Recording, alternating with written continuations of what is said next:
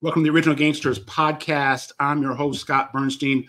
Quick hitter edition. We're going to do some housekeeping with all of the chaos out in Quebec, Montreal, Rizzuto Mob, Hells Angels, Blood Family Mafia. We're going to hit them all in this quick hitter. There's uh, been a string of news that has come out over the last week to 10 days. I want to hit on it all. Let's start with kind of confirmation on what we've been telling you here.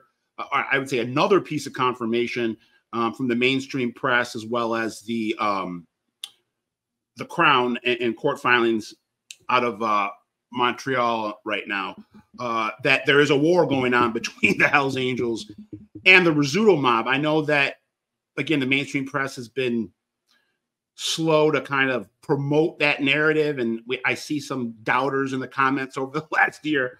But uh according to a court filing last week there was a attempted we, we kind of knew about this there was an attempted uh hit of Rizzuto mob capo Eastside Marco Pizzi last September, uh, where his car dealership was shot up uh, they arrested the people that were responsible a couple months later in a court hearing that took place last week, where one of the suspects was denied a bond.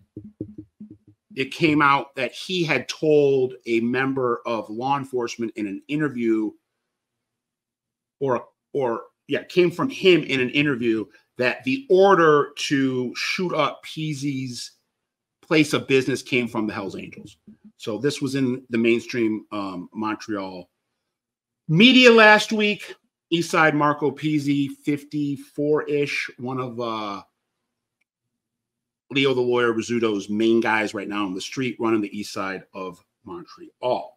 Uh, talking about another attempted hit in this 18 month or so so far a war between the Hells Angels and the Rizzuto mob over the sports gambling, drug, and prostitution networks across Quebec and Ontario. We all know that uh, it all kind of sparked this whole war within a war was was kind of spurred on by a rivalry between uh, Leo Rizzuto and his father's former, you know, big time enforcer, loan shark bookie, uh, Francesco Del Balso, Chit uh, Chit tried to engineer Leo Rizzuto's murder in March of 23 after a couple attempts had been made on his life. We found that out in some court filings this back in the spring. We thought there had only been two attempts on Del Balso's life, but now we find that there was actually a third attempt made in the weeks before he was eventually murdered in June on June 5th, 2023 on West Island in Dorval. Um, leaving a meeting with the Hells Angels, who he had aligned with uh, to fight the Rizzutos, who he'd been kicked out of. Um, it looks like there was a, I mean, there was there was another uh, attempt to set his residence on fire, his his uh, house in Laval. All got caught on tape.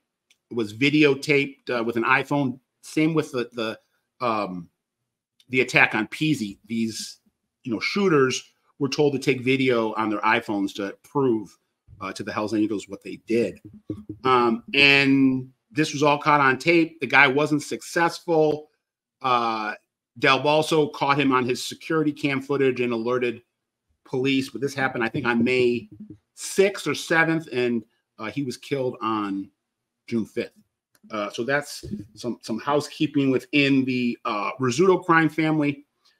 Hell's Angels. That's kind of war number one A, one uh, war one B going on right now up in Quebec City between the Quebec City Hells Angels and the upstart Blood Family Mafia, which we've been told is being co-signed. This war on you know on their behalf is being co-signed by the Rizzutos. Your enemy's enemy is your friend.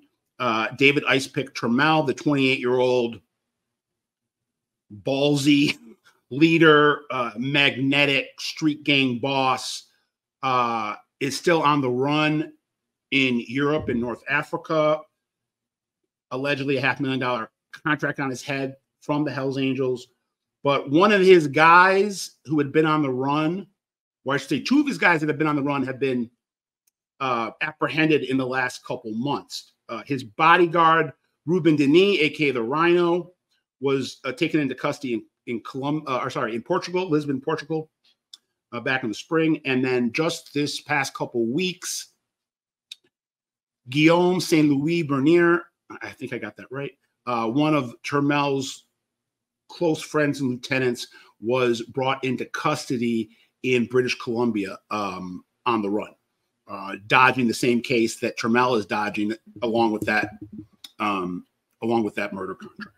So, and then Denis, there's been uh, a bunch of court hearings this summer that seem to be uh, a bit contentious.